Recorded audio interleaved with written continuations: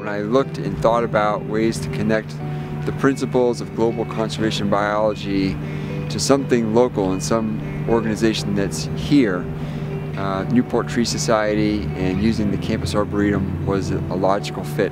I have students studying how to measure diversity, how to measure species richness, how to identify different uh, tree species, uh, or any kind of species, and they can walk out of the classroom and with a field guide go and identify on a small plot of land like around the library about 40 different species, things from all over the globe. And we have things from all over the globe because of the arboretum that we have here, this living laboratory that's right out of the classroom's doors.